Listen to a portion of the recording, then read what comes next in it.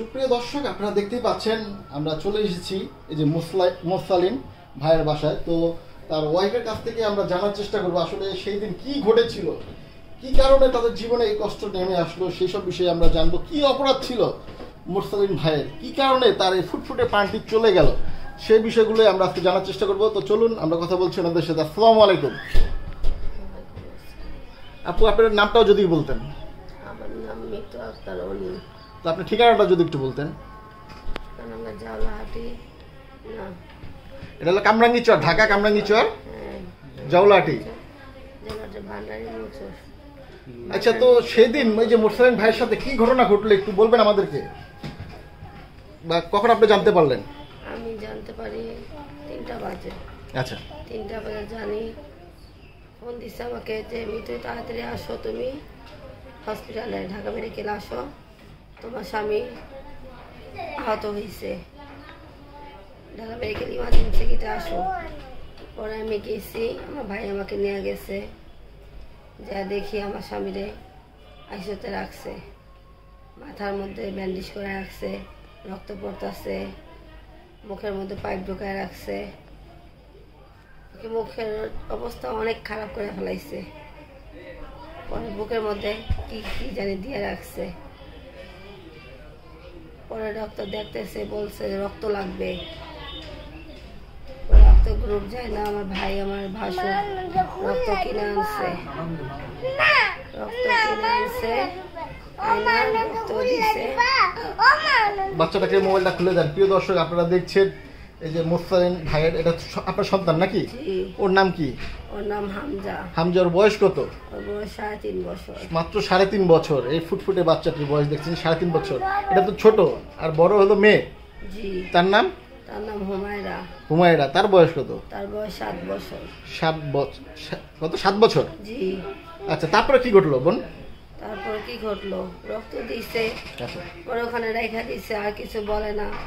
বলে অনেক অবস্থা খারাপ সিরিয়াস অবস্থা। পরে বলছে যে কি কি লাগবে বলছে আরও রক্ত লাগতে পারে। তিন ব্যাগ দেওয়া হয়েছে আরও রক্ত লাগতে পারে। আরেক ব্যাগ ব্লাড গ্রুপে রেখে আসছে। আচ্ছা। ফ্রিজে রেখে আসছে যে লাগলে দিবে। পরে এর সারাদিন গেছে রাত গেছে কোনো জ্ঞান ফিরে নাই কিছু হয় নাই। তারপরের দিন বুধবার দিন চারটে তিনটা আড়াইটা দুইটা থেকে তিনটা এরকম হইব। চারতলা নিয়ে গেছে। দাঁড়াও। চারতলা নিয়ে গেছে। নিয়ে যায় আইসুতে রাখছে। তখন বলে যে আগের চেয়ে একটু ভালো আর কি পুরা ভালো না অল্প একটু ভালো। আগে তো কোনো কিছু দম আমি দেখছি যে একটু টিকটিক করতেছে আর কি। এটা একটু একটু লড়তেছে। পরে একটু ভালো তারপর ওখানে রয়েছে। আরও ওষুধ পানি লেখা দিছে আমার ভাসুর ওষুধ টষুধ আনছে লাইন দিতেছে রক্ত দিতেছে। তারপর আমাকে ডাকছে যে, চাদর দিয়ে দিতে ভাই, চাদর দিয়ে আমি ঢাইকে দিয়ে আসছি। এর একটু পরে আমার আইসা বলে, আর কি, সাড়ে তিনটা চারটা দিকে হবে। আমাকে ডাকতেছে যে, তেইশ নাম্বার রুগীর লোক কই? আমি গিয়েছি তাড়াতাড়ি করে দৌড়ে আমাকে বলে, আপনার কি হয়? বলছে, আমার হাজব্যান্ড পরে বলে, আপনার বাড়ির লোক নাই? বলছে, আছে। বলে, কী হয়েছিল? কী ক- কারণে এরকম হয়েছে? বলছে যে, মার্কেটে গেছে। তখন ওখানে আহত হয়েছে আমার স্বামী। আচ্ছা আমরা একটু এই জায়গায় আসি। সেদিন যে সকালে মার্কেটে গেল সেটা কীভাবে গেল? আর লাস্ট কি কথা বলেছিল আপনার সাথে যদি একটু আমার সাথে কোনো কথা বলে নাই। ঘুমে থেকে সব সময় মতো ঘুমে থেকে উঠা গোসল করে তারপর দোকানে যায় মার্কেটে যায় আর কি। আচ্ছা। আমাকে বলছে গেটটা লাগাও তারপরে ঘুমায় থাকো। আমি সকালে ঘুমাইছিলাম গেট লাগাইয়া পরে শুয়ে আসছি আর কোনো কথা বলে না আমার সাথে। আচ্ছা তো আপনার মনে কোনো আওয়াজ দেয়নি? আমরা তো না স্যার। আমার মনে কোনো আওয়াজ দেয়নি আওয়াজ যদি দিত আমার মনে তাহলে তো আমি আমার স্বামীকে যেতে দিতাম না। এই বিপদের মধ্যে। তারপরে ডাক্তার কি বলল? ডক্টর বলল আমাকে যে তো আপনার গার্জিয়ান নিয়ে আসেন। কে আছে আপনার সাথে? কেউ নাই? বলছে আছে আমার খালামণি আছে। তা খালামণিকে ডেকে নিয়ে আসেন। তাড়াতাড়ি তাড়াতাড়ি আমার খালামণি ডেকে নিয়ে গেছি। আচ্ছা। ডেকে নিয়ে গেছি। পরে আমার খালামণিকে ভিতরে আরেকটা রুমে নিয়ে গেছে। ভিতরে রুমে নিয়ে আমার খালামণির সাথে কি জানি কথা বলছে। আমার খালামুনি বের হয়ে আমার ভাসুরের মোবাইলে ফোন দিতেছে সবার মোবাইলে ফোন দিতেছে। তখন আমি বুঝে গেছি যে কিছু একটা হয়ে গেছে। তখনই আমি বুঝছি যে আমার স্বামী আর হ্যাঁ। তখন আমি বুঝছি আমার স্বামী নেই। এতটুকু আমি আমার স্বামীকে আর দেখতে পারি নাই ওই যে চাদর গায়ে দিয়ে আসছি আমাকে আমার স্বামীকে আর দেখতে দেয়নি ওনারা। বোন আজকে তো আল্লাহ যদি ডাক করো এই ঘটনা না ঘটলে তো আপনার স্বামী আপনার সাথে থাকতো। আমার স্বামীর সাথে থাকতো। আমার স্বামী রাত্রে বাসায় ফিরতো। বাচ্চাদের সাথে খেলাধুলা করতো। বাচ্চাদেরকে নিয়ে ভাত খাইতো।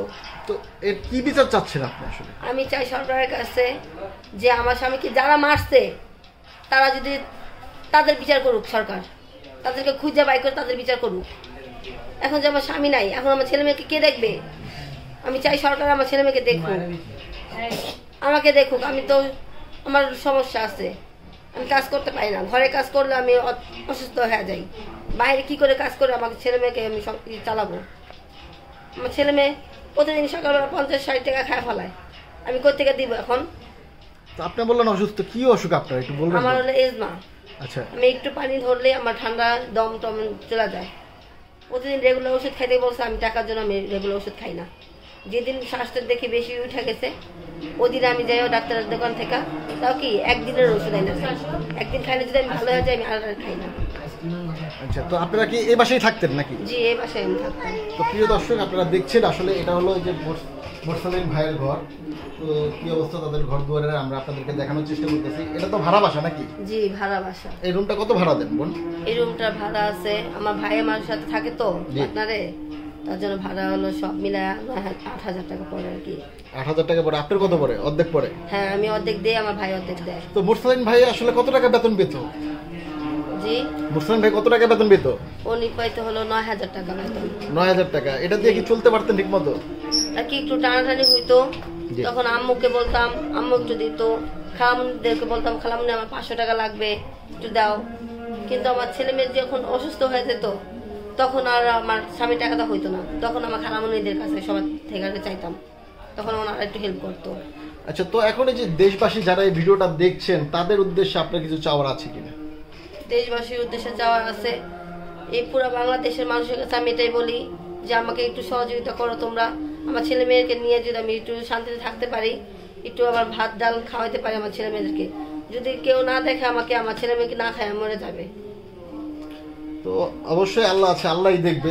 আর মানুষ তো আছে, অনেক হৃদয়বান ব্যক্তিরা আছেন, তাদের পাশে দাঁড়াবেন। প্রিয় দর্শক, আমরা দেখানোর চেষ্টা করলাম আসলে যে মুসালিনের ওয়াইফ এবং তার ফুটফুটে দুটি সন্তানের এখন কে দায়িত্ব নেবে, কে এসে তাদের পাশে দাঁড়াবে, সেই ঘটনাগুলো দেখানোর চেষ্টা করলাম। ভিডিওটা একটু বেশি বেশি করে শেয়ার করে দিবেন, যাতে এই বোনটির দায়িত্ব কেউ নেয়। অবশ্যই যাতে দায়িত্ব নেয় এবং তাদের এই একটা ক্ষতিপূরণের ব্যবস্থা করে। এই প্রত্যাশা নিয়ে আর যারাই যে আসামি, যদি অন্য কোনো কারণে তাদেরকে মারা হয়ে থাকে, অবশ্যই যাতে সঠিকভাবে বিচার হয়। সেই প্রত্যাশা নিয়ে আজকের ভিডিও শেষ করছি। আপনারা সবাই ভালো থাকবেন, সবাই সুস্থ থাকবেন। আল্লাহ হাফেজ।